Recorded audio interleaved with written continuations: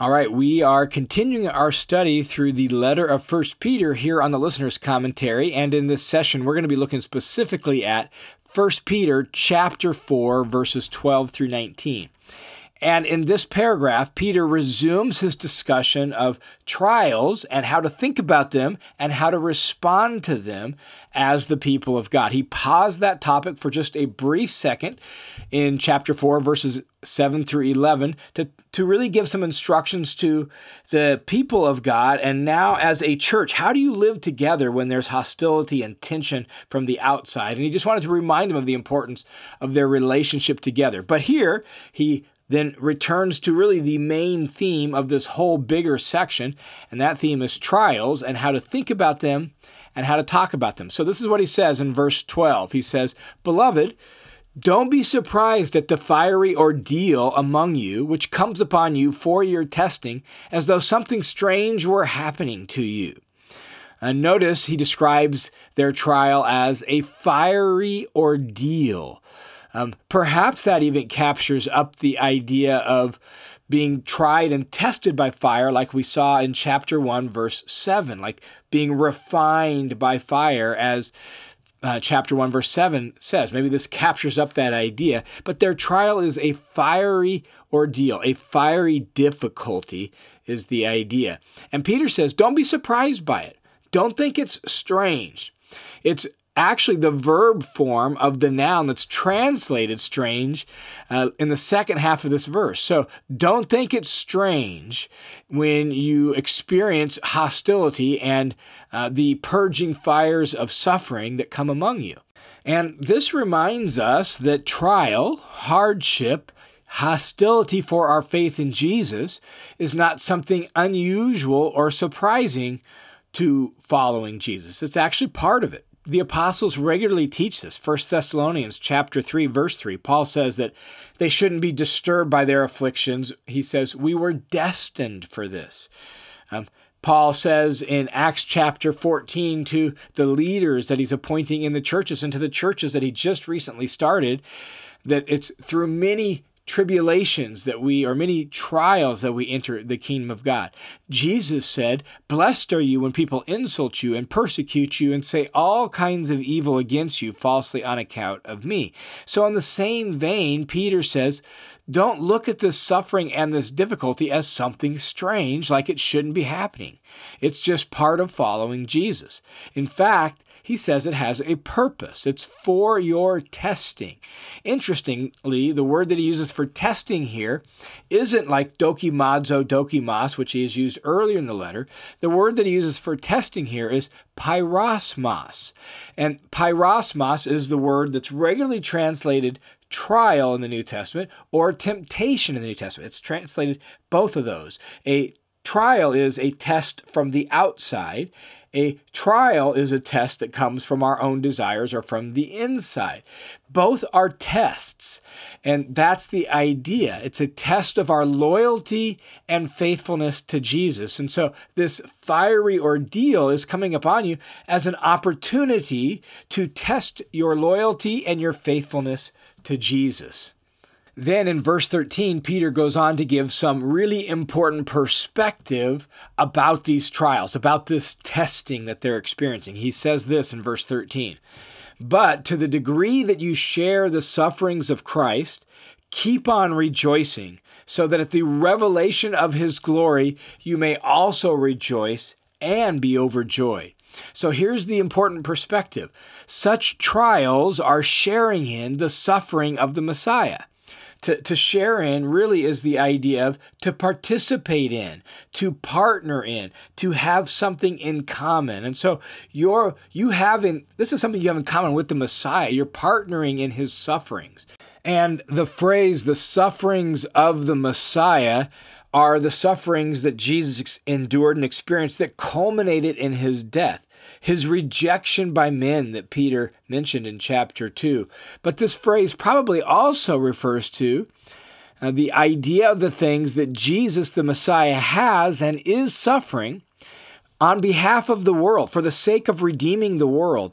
The, the Jews had this idea to, to speak of the times of the suffering of the Messiah that was really part of uh, leading up to the end of all things and the culmination of all things. And so to suffer for Christ is to suffer with Christ for the purposes of Christ. We're identified with him, and so our sufferings are part of his sufferings for the sake of the world. And so Peter says that's what you're that's what you're experiencing to the to the degree that you share in the very sufferings of Jesus the Messiah.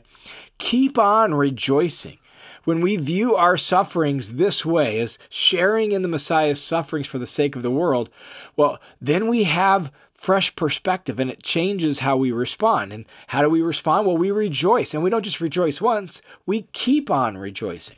And again, this is something that Jesus taught Peter and us, right?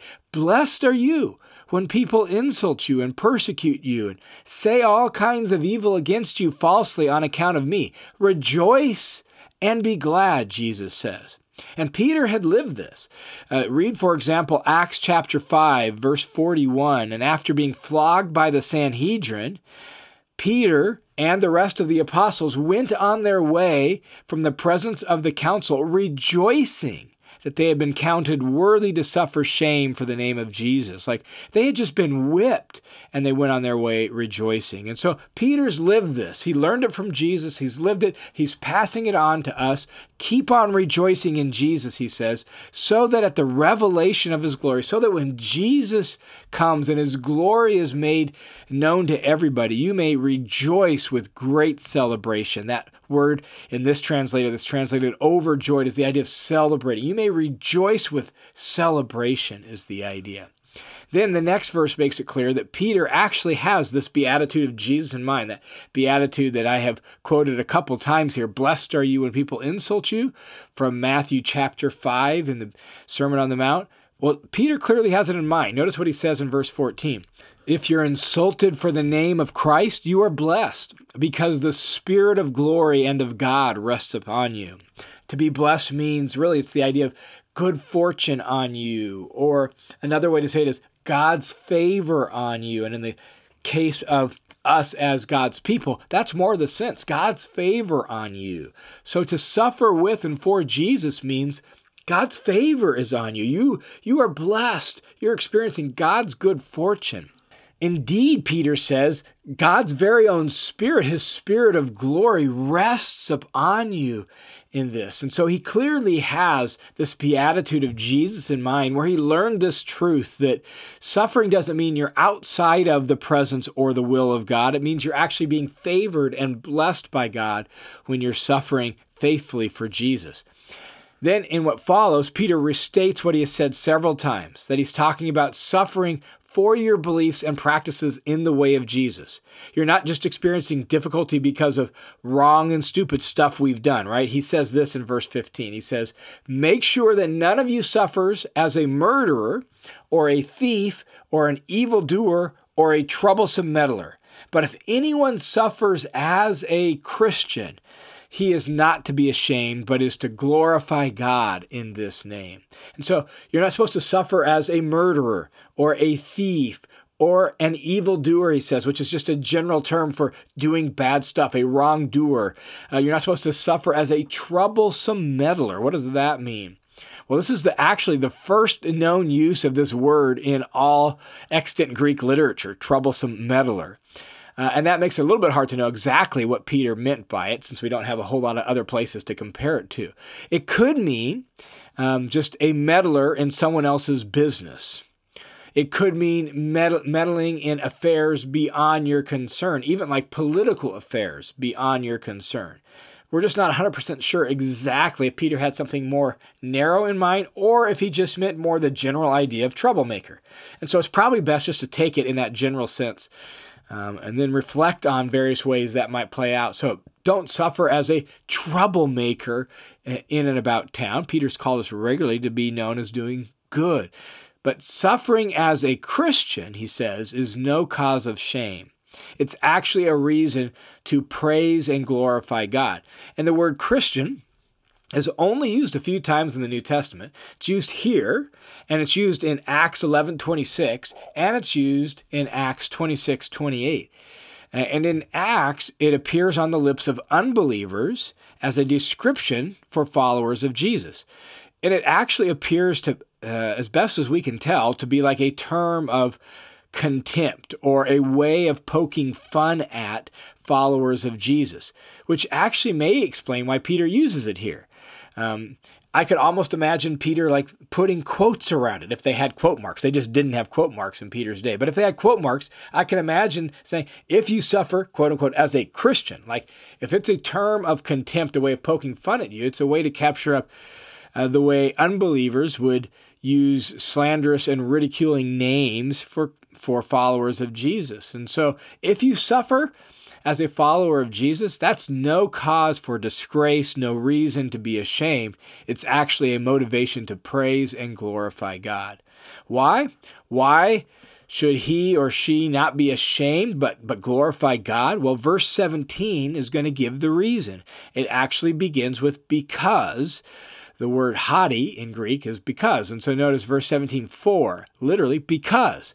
Why should you not be ashamed but glorify God? Well, because it's time for judgment to begin with the household of God. Peter has already mentioned that suffering is a form of purifying and refining. We saw that in chapter 1, verse 7. Elsewhere in the New Testament, it can talk about suffering as a form of discipline. For example, Hebrews chapter 12, verse 3 and following. Uh, and judgment often means more uh, than what we would call criminal judgment. It often means more what we would call civil judgment. That is, sorting out who's in the right and who's in the wrong. And those in Christ are God's house, God's family. Um, and here, particularly in the context of uh, the full context of Peter's letter, house or household probably has the idea of temple. Uh, he's already used that for God's people quite extensively in chapter 2. So the idea seems to be that God is purifying and refining his temple, his people, through the, the means of unjust treatment at the hands of unbelievers. God is using this as a way to to purify and to refine and to discipline his people so that, that it'll be a pure, clean, holy temple, holy people for God. That seems to be the idea of what is meant by judgment beginning with the household of God.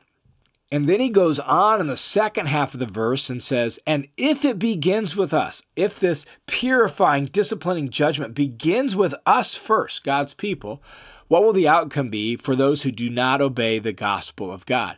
And if it's with difficulty, with that the righteous is saved, what will become of the godless man and the sinner? What Peter is saying is if God's people suffer like this as part of their purifying judgment, well, what will judgment be like for those outside of Christ? In verse 18, when he says, If it's with difficulty that the righteous person is saved, what will become of the godless one and the sinner? Well, that's a direct quote from the Septuagint version of Proverbs 11:31. Now, the version in most of our Bible translations is from the Masoretic text, not the Septuagint. So if you look up Proverbs 11:31, it's probably going to sound a little bit different. But in the Septuagint, which is the Greek translation of the Old Testament, this is a word for word quote from Proverbs 11:31 in that version of it. And in the context of Proverbs 11, the difficulty with which the righteous are saved seems to refer to their suffering. In other words, it fits the context perfectly here. That the way of salvation travels through the valley of suffering, and it's hard. Um, and so, if that's the case for God's people, the righteous people, if they have to go through hardship and hostility and difficulty on the path of salvation, well, what's going to become of the godless person and the sinner? We can only imagine that the outcome for them is going to be so much worse than the suffering that, that God's people experience now. And so Peter then ends the section with a word of instruction, a word of encouragement for believers on what to do as they encounter suffering, to what to do as they walk through this valley of hardship and difficulty on the path of salvation. Peter says this in verse 19. He says, Therefore, those also who suffer according to the will of God are to entrust their souls to a faithful Creator in doing what is right. That phrase, doing what is right, is our phrase, in doing good. This has been Peter's refrain all throughout the letter. Keep doing good. Be known as doing good. And so, as you're doing good, if you suffer for it, well, then here's what you should do you should entrust your soul to a faithful Creator. Uh, and your soul really means your whole self, your whole being. Like entrust your whole self to, to God. And who is God? Well, God's your faithful creator. He's faithful. He's trustworthy. He's the creator of all things. So he's in charge of it all. He can be counted on to sort it all out and to do what's right. So just keep doing good. Keep doing what's right. Keep uh, living for the will of God, loving your neighbors, serving your community, and doing what's right. And if you suffer for it, just trust God that He'll sort it all out and He'll make things right in the end. And so, how should we think about sufferings on behalf of Christ? Well, Peter says they're tests. They're tests of our faithfulness and loyalty. We should think about them that way. They're, they're sharing in Jesus' suffering. They're to be expected. They're not abnormal. They're not strange. They're part of following Jesus in the present time. Um, they actually entail God's blessing. Blessed are you when this happens to you. And they're a form of judgment. Not judgment in the sense of condemnation, but judgment in the sense of discipline, purification, and refining. They help, they help purify us um, and uh, discipline us for the sake of righteousness. And what should we do when we encounter hostility and hardship, according to what Peter says here? Well, we should make sure that we're suffering for doing good according to God's will, right? We should be, be sure that that's the reason. We're not a murderer, a troublesome meddler, a wrongdoer. No, we're doing God's will and we're doing good. Make sure that's the reason we're suffering. We should rejoice and be glad, and we should entrust our whole self to God, knowing that He is our faithful Creator who can sort it all out in the end. That's Peter's advice for us as we face hardship and suffering on our way to glory. Hey, it's John. Before we leave this session, I just wanted to remind you that the listener's commentary is a crowd funded Bible teaching effort that's made possible by the generosity of tons of people just like you. And so, if you've been touched in some way, you've been impacted in some way, blessed in some way by the listener's commentary, could I just ask you to prayerfully consider supporting the commentary? You can set up a monthly uh, donation, a recurring donation at uh, the link in the notes down below at the give page at listenerscommentary.com. Or another way to support the ministry and get some premium content for yourself is to sign up for the Study Hub. And if you sign up for the Study Hub, you get access to tons of extra Bible study tools and resources inside the Hub.